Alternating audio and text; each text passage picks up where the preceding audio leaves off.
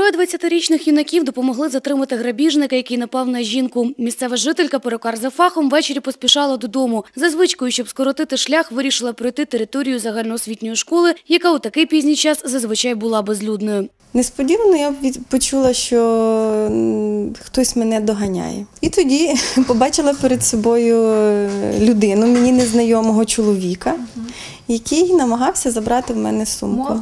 Незнайомець раптово вискочив із темряви та сильно штовхнув жінку, вихопивши з її рук сумку з особистими речами і документами. На щастя, пані швидко оговталась і одразу ж почала голосно кликати на допомогу. Почув, що жінка почала кричати на, на помощь звати. Нікого не було. Ну, я побачив, що чоловік е, вириває з жінки сумочку. Я поміг на допомогу. Він, він на загальну школу номер 3 забіг на територію. Ну, я за ним і там його зловив. За збігом обставин ще двоє хлопців якраз у цей час прямували на шкільний спортивний майданчик, щоб позайматися спортом на свіжому повітрі. Вони побачили чоловіка з жіночою сумкою та, не змовляючись, одночасно кинулись йому навперейми. Ну, Я йшов собі з другом попри третю, ну, попри школу, йшов на турніки, і там на углу почули крик жінки. Ну, ми спочатку так не особо не звернули увагу, потім почули, що вона вже просить допомогу.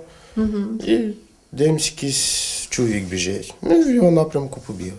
Олег його перший злопав, він під ним зашпортився, і ми потім його вже повалили повністю, що він вже не зміг. Просто потім молча стояв, що навіть відходив назад, хотів тікати, але ми сказали, що стій. І він щось стояв, побачив, що вже нікуди не не дінеться, і потім патруль десь через хвилини три прийшов і вже його там затримали повністю. Грабіжник виявився старим знайомим правоохоронців, оскільки вже декілька разів притягувався до кримінальної відповідальності за крадіжки та розбійний напад. Даній особі 3-4 роки. В минулому році вона вийшла з місць позбавлення волі, відбула 5 років за вчинений розбій.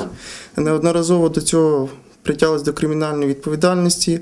За весь час, що була на волі після звільнення, ніде не працевлаштувався, жив за рахунок коштів своєї співжительки. Тож за таких обставин і майбутнє його неважко спрогнозувати. Згідно частини першої статті 186 Кримінального кодексу України, наступних 4 роки чоловік знову може провести за ґратами. А хлопці в урочистій обстановці за присутності всього особового складу нагородили за сміливість.